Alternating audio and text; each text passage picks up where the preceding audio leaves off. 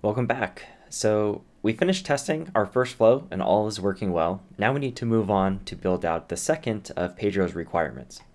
And if you'll recall, uh, we'll go to this account here real quick, Edge Communications. I'll click Details. Uh, there is a field called Account Notes. And Pedro uh, would like this field to be um, copied from any account and carried down onto any new opportunity that gets created. So if we have a new opportunity on the Edge Communications account, the account notes at the account level should be brought down to the opportunity. In addition, I'll go back to our uh, list here and I'll just click open the Edge Communications ops. Any of the opportunity notes, or I guess I should say that uh, the opportunity notes for the account should also be populated on a brand new opportunity. And so that's the flow we're going to build right now. Um, so I closed it out but I will go back to the flow builder. Click flows, and we are going to make a new flow to do this. So I'm going to click new flow. And if you had to guess what type of flow this would be, what do you think? So I hope you were thinking it's a record triggered flow, and that's exactly right we are going to uh, fire this flow whenever a new opportunity is created. And so that was kind of the, uh, the thought process or the giveaway there, is that when we uh, create an opportunity, we're launching a record and that's going to launch the record triggered flow. So we'll pick that. And I guess to configure our start element, all we have to do is just pick the opportunity object. And as I mentioned previously, we only really need to run this when a record is created you know, Pedro just said that uh, he wants new opportunities to have those notes.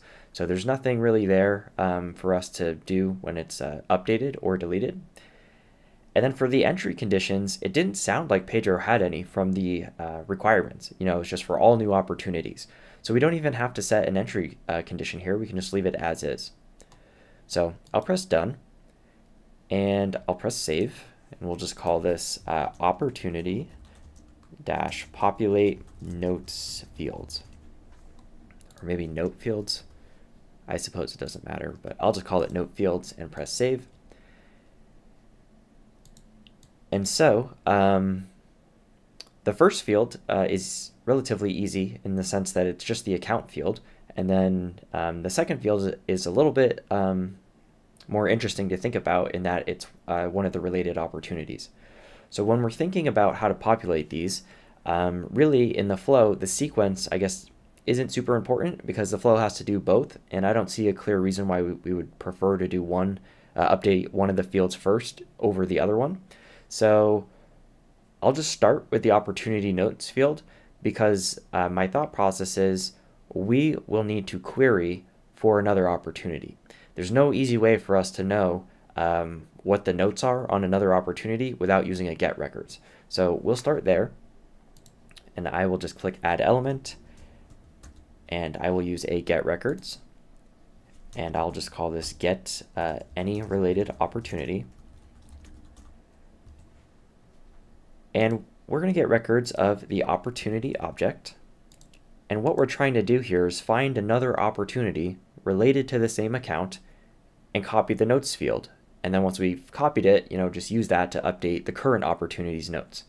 So those conditions, uh, one will be that the account ID equals, and it will be the global variable, so record account ID of the current opportunity.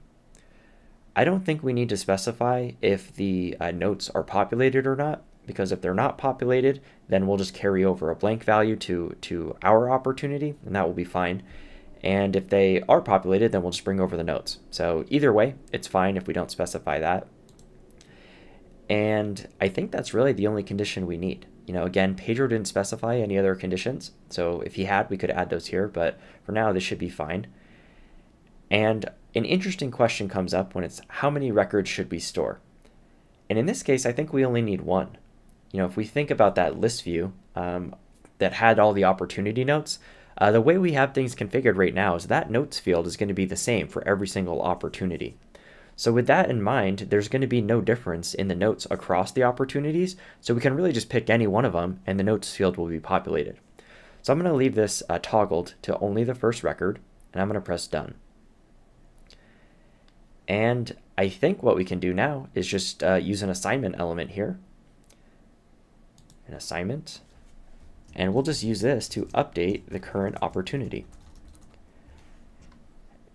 And so we'll start out by setting uh, the notes. So I just, I'm using the global variable here for the opportunity notes for the current record. So by scrolling down here, just finding the opportunity notes field.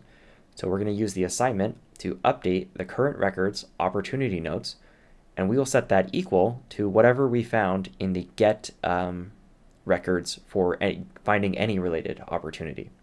So I will uh, select that record single variable. And again, I'll just scroll down to the opportunity notes. And we'll click that. And then the second field we need to set is just the account notes. And so this is interesting. I don't think we've probably done this yet.